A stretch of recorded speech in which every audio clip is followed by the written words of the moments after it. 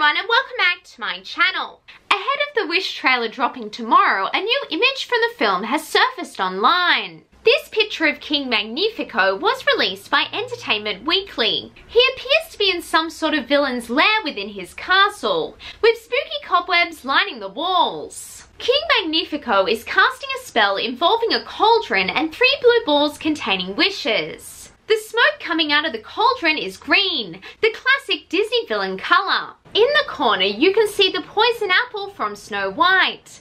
There are also several potions in the area, including one with a skull lid. Anyway, that is all for today. Like this video if you liked it and please subscribe. It would mean so much to me. Bye now and have a magical day.